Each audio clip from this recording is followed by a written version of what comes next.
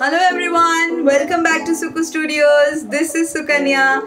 This week I am going to show you two illustrations and uh, they both of them are uh, similar and different simultaneously. So uh, this is the first one and I have done this using photo ink and watercolor.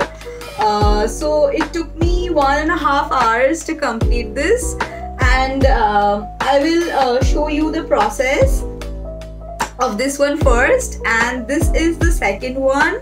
Uh, this uh, uh, is a art of resistance. And uh, it is for a cause which is really something that we should all think about. And um, I really wanted you guys to know about the story.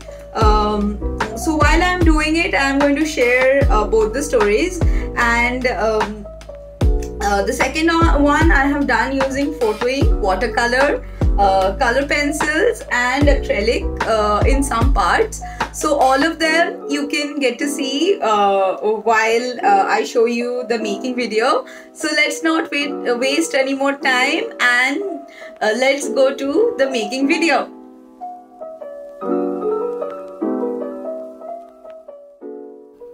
I wanted to reflect on my daily life and sometimes how mundane it becomes to repeat our daily chores over and over again.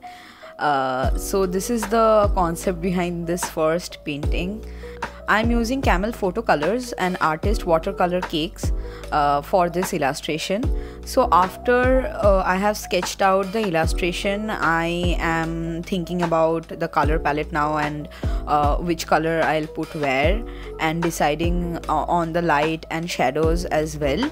Um, so uh, I thought of making uh, the character pink because I like painting my characters pink. Uh, and uh, her hair uh, to be blue. Uh, so I am starting off with her hair first, as you can see, and then I'll slowly go down to her skin and maybe and after that to her t-shirt and the rest of the elements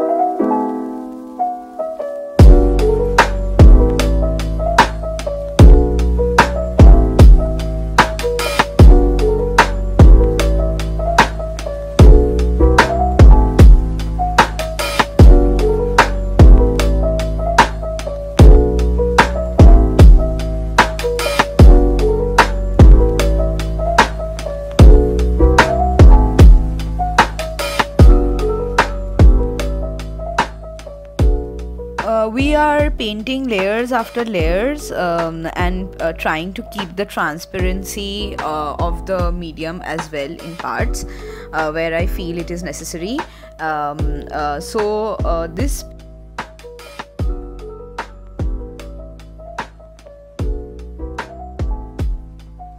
so this painting is almost done and uh, i am not that happy about it uh, i don't know uh, why there is something which I don't like about this one and I am not satisfied. So I thought of painting something else.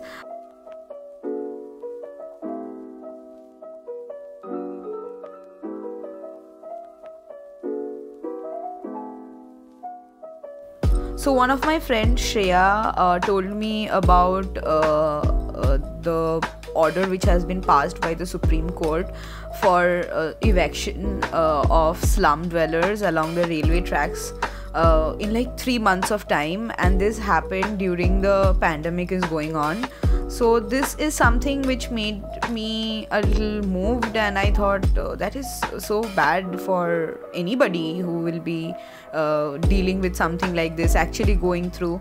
So one fine day one evening your somebody comes to your house and says ki the next by the next morning you have to take away all your things and evacuate the place uh, so this really happened to thousands of people uh, in Gurgaon, Haryana, uh, and by this thing and uh, after uh, the government told us uh, told uh, the people to stay inside the house uh, how can you pass this kind of a order in between things where things are so bad outside? People have lost lost their jobs. People don't have money to eat. And at that point of time uh, clearing out somebody's house and uh, is like a very tough thing to think about only. Uh, even the schools and shops were demolished, and these people are on the roads now, and people of all ages are uh, are on a strike against this, and they are trying to save their land and save their houses. Although they are slum dwellers, but still, a basic human right is there to uh, feel protected and uh, if uh, something like this happens it is very terrible uh, to be in it. This kind of uh, injustice is prevailing around us and we are little aware of things. Uh, so i thought about making this art of resistance um, and uh, this is maybe how for the moment i can we can contribute for uh, a cause like this uh, so that hundreds of lives can be saved. People are already dying without food. And uh, in this this is something which is really brutal. So i will tell you about the colors that i'm using here. I am using camel photo color ink uh, and artist color uh, cakes uh, as well for this but i want to mix some more mediums in it to make it more interesting. I am using acrylic paint in parts of the painting uh, and uh, i am doing this uh, to to these like small houses in the background so that they get a solid and opaque feel to it.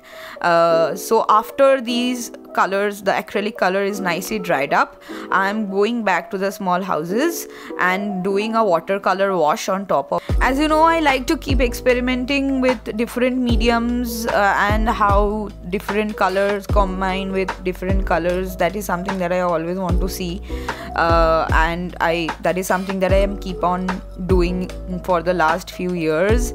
And so i am going to use a bit of um, uh, color pencils as well for this painting. Uh, so to make things a little more uh, brighter and uh, to make things stand out by itself. So uh, i am happy with how it is looking now. The characters uh, and the backgrounds are almost done and both of them stands out by itself and things look fine uh, so if you like the video uh, do like share and subscribe to my channel uh, if you haven't done that yet. And please comment in the comment section below. I want to know what you guys think about creating an art of resistance. And if you have any questions or suggestions regarding my videos please feel free to mention in the comment section below. Uh, and thank you guys for watching. Uh, i really love you all and and you are the person who is making me make these videos and i uh, don't feel tired while i'm doing it. I love to share this. Uh, so please support me and comment. Uh, see you guys next week